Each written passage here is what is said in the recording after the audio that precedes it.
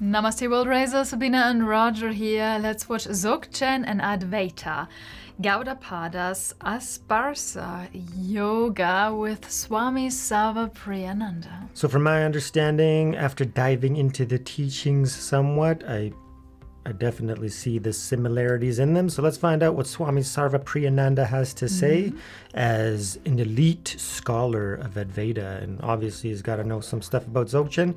So if you like Dzogchen or Advaita Vedanta, please hit that like button. Really, really helps the video and the channel. And of course, subscribe. This teaching, Gaudapada gives it a beautiful name Asparsha Yoga the yoga of no contact. Mm-hmm. The yoga of no contact, Asparsha Yoga. Swami Ranganathanandaji, the 13th president of our order, he was fond of this term. He used to call it Advaita Vedanta is Asparsha Yoga. It's also a yoga, a spiritual path. But what kind of spiritual path? A unique spiritual path, which is called the path of no contact. Why the mm. path of no contact? Because you see, Brahman and the world are not enemies. Oh, mm-hmm. I love it. The real and the false are not enemies. Nice. Hmm. You might think, think that reality and falsity are enemies. No. Yes. Mm-hmm. What is an enemy of falsity is the knowledge of reality. You mm. see, hmm. the false snake and the real rope are not enemies. They are not contradictory. It is because of the real rope that we can mistake it and see it as a snake. Mm-hmm. The desert is not an enemy of the mirage water. It is because the desert exists that we have the illusion of a mirage water. Mm-hmm. Yeah. What what contradicts the mirage, the water in the mirage, or what contradicts the false snake? Our knowledge that it is a rope, our oh, knowledge that it's okay. a mirage, no. it's not really water. Okay. Mm-hmm. That contradicts. Oh yeah. Mm. So knowledge of reality is the enemy of falsity. Yeah. But reality as such is not the enemy of falsity. Oh my God, I in love fact, it. reality mm-hmm. is very kind.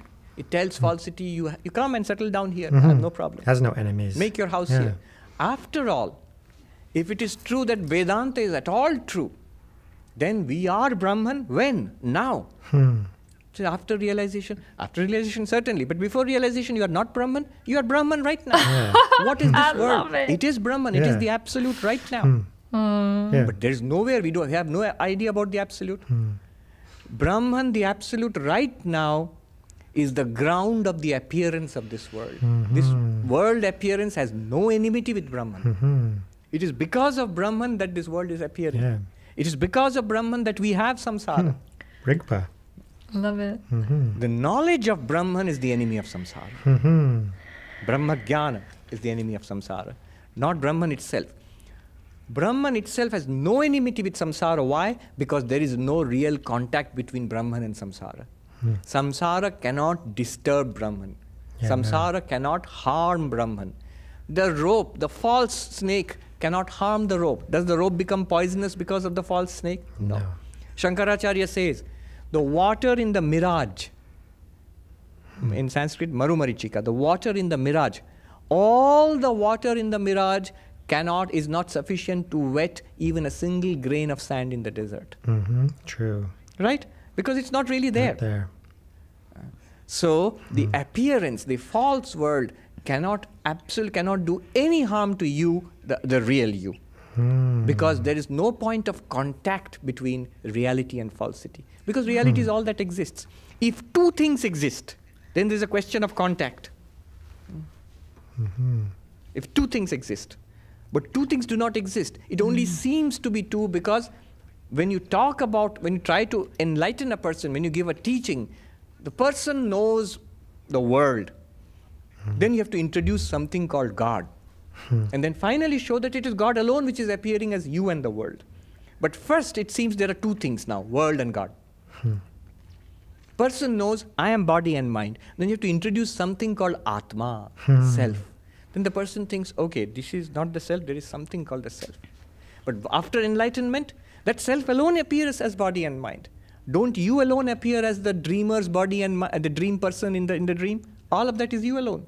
Mm. So there is, it is actually one reality. And the feeling of two, it is a in, in between interim stage. Mm.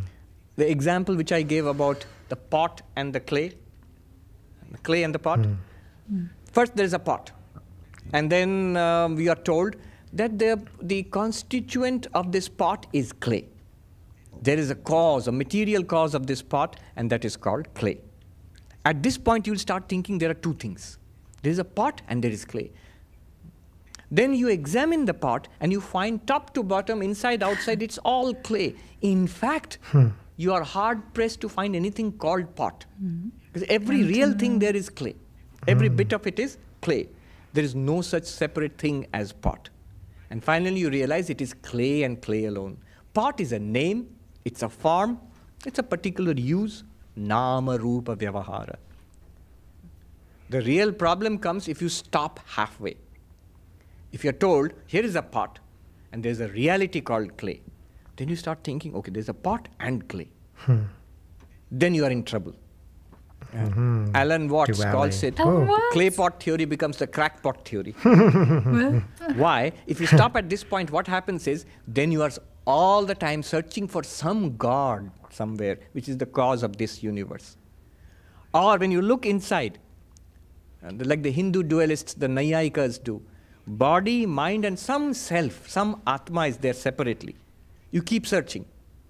So clay pot theory becomes crackpot theory then. Hmm. That is the problem. If you stop at this point, that is why the yogis say you have to blank out the world to realize the self. Because they think there are two things. You have to shut your eyes to the. Do you really have to shut your eyes to this lectern to see the wood here? If I say, see the le- podium, say, yes, Swami. If I say, see the wood here, you'll say, yes, Swami, it's pretty easy. Do you have to shut your eyes to see the wood? No. Hmm. To see the waves in the ocean, go to the beach? Yes, with open eyes. To see the water, do you have to shut your eyes? No. Hmm. With open eyes, you can see the water. It's a change in paradigm, it's a change in your understanding. The shift is internal. The yogi, because he thinks water and wave are separate things, gold and ornaments are separate things. You have to shut your eyes, then you can see the reality. So I'll end with a beautiful verse, Asparsha Yoga. That now we understand why it is called no contact. Because there's one reality. Does the clay ever come in contact with the pot? now you'll understand. No, ah, the clay never comes in contact with anything called pot. because the clay is The pot is a construct Mm. which we think of. The clay, clay in that form, we call it a pot. There is no thing called pot with which the clay will come in contact. So the clay is asparsha. It has no contact with the pot. Brahman, Atman, pure consciousness is asparsha. It has no contact with this appearance of the world.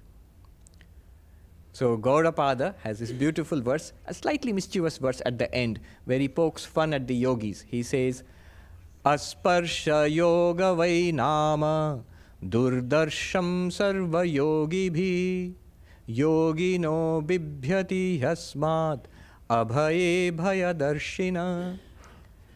This teaching is called Asparsha Yoga, the, the, the path of no contact.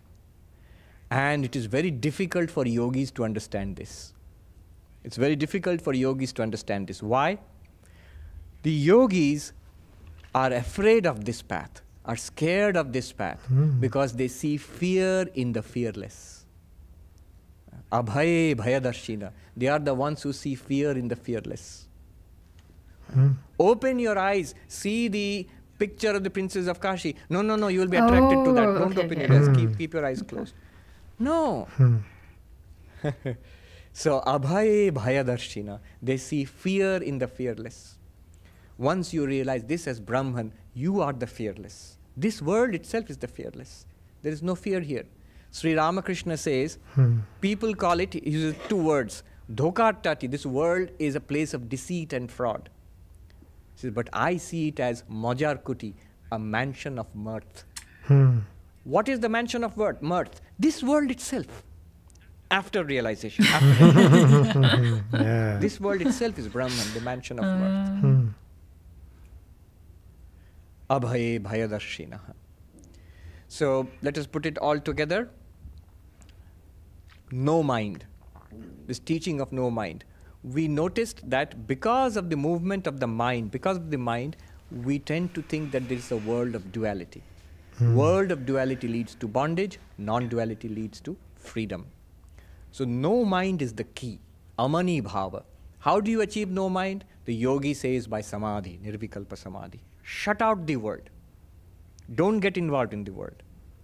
Stay in samadhi and finally give it up. Vivekananda said, He who runs away to meditate and die in a Himalayan cave has missed the way. Hmm. Don't look at the picture of the princess of Kashi. So that is one, one approach to no mind. Another approach to no mind is given by Gaudapada Acharya. He says, Atma Satyanubodhena, by Viveka. Hmm? Atma Anatma Viveka, by the Viveka of self and not self. By the Viveka, by seeing that the self is eternal and not self non eternal. By seeing that the self is unchanging and the not self changing. By hmm. seeing finally the self is real and the not self is an appearance. By this Viveka, you will realize the self alone is non dual. Hmm. Advaitam. When you come to the non duality of the self in this way, you have achieved Amani Bhava.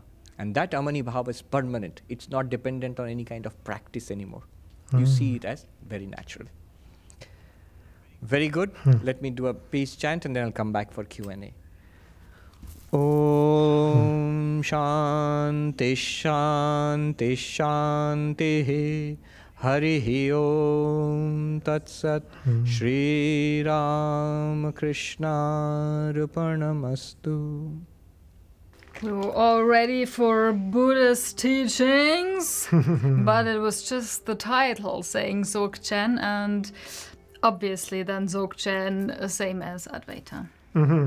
So yeah, so I think maybe earlier in the lecture he was probably talking more about Dzogchen, but not much in what we saw. Honestly, I don't think so. I think uh, someone just titled it because I was I couldn't find any videos talking about Dzogchen and Advaita because that's hmm. what I go like uh, on hmm. YouTube. I typed in. Oh, okay. I wanted like someone to talk about it, hmm. and I think somebody realized there are no videos out there. But you know, if you label it, maybe people click on it.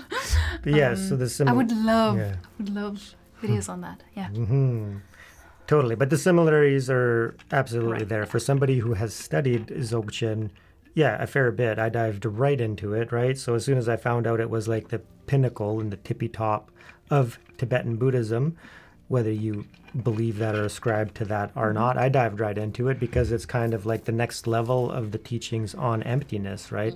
Saying that everything is the manifestation of one source, one you know, cosmic power. And in this case, it's Rigpa, which is uh, represented by the shirt I'm wearing right now. Um, so, yeah, extremely similar, right? So, the same thing is, you know, Brahman, the one absolute reality. So, so I loved his metaphors in this teaching, right?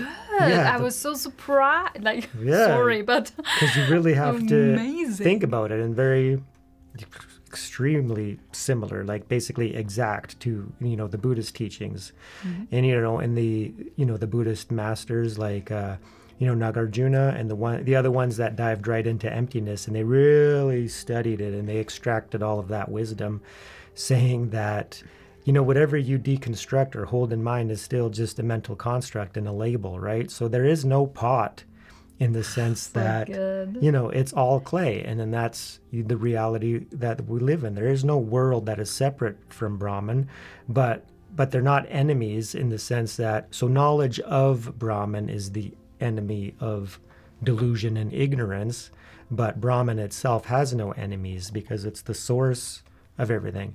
And then that's when he's talking about the self. Once you realize the self within then mm-hmm. you only see truth and reality. And then that's when so the duality of thinking that okay here i am body and mind and then self is separate. And then when you realize self then you see that the self is the body and mind right which is that other saying that the world is illusory only brahman is real and then brahma is the world so there's that Brahman. so there's that separateness yeah brahman so that separateness and that duality from when we're coming from, you know, mind, and in this case, the dualistic ego thinking mind that perceives us as separate. So pr- before enlightenment, yeah, we see duality and we see things as separate, but in reality, so it's taking the clay and the pot, you know, metaphor to a totally higher level in the sense that think of the clay is Brahman, and the pot is the world, right? And then we see them as separate. But in reality, no, it's like the, the universe is literally Brahman, right? And there's only that, right? I know the quote now. Yeah, okay. The world is unreal, only Brahman is real. The world is Brahman. Yeah. Hmm. And it's up to us to realize it. Let's realize it, world raisers. Yeah, yeah so extreme, extraordinary similarities. So this is where, mm. you know, all religions and traditions that, you know, just become separated over time. When you go to the core and the root of what they're teaching, an enlightened, realized being is teaching the truth with the you know in their culture and their time with their words but ultimately they're all pointing at the same thing which is mm-hmm. fascinating because you can see the similarities in advaita vedanta you know and what shakyamuni buddha was teaching right? Mm-hmm. Non-duality right and then in the Tibetan tradition, you got Rigpa, right? And emptiness. And what does that teach? So empty means that we don't exist inherently from our own side, right? The pot does not exist inherently from its own side by its own pot power. It's only the clay that allows it, you know, to exist. And then beyond the clay, there's what is it? It's consciousness, right? Nice. So the subjective awareness of our own mind, which is the foundation and the ground, right? Which allows everything to manifest and exist. So we are living in an extraordinary time, peoples. Now is the time Let's make it happen. to raise yourself. And raise the world. Thank you so much, everyone. We love you. Hmm. Peace.